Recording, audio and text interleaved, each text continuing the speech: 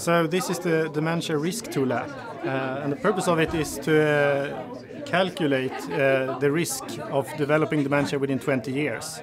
So in the app you will answer a number of questions, uh, and based on that uh, questionnaire, you will end up with uh, a score that tells you your risk for developing dementia. And also you will get a, a few advices of how you can prevent dementia in those coming 20 years.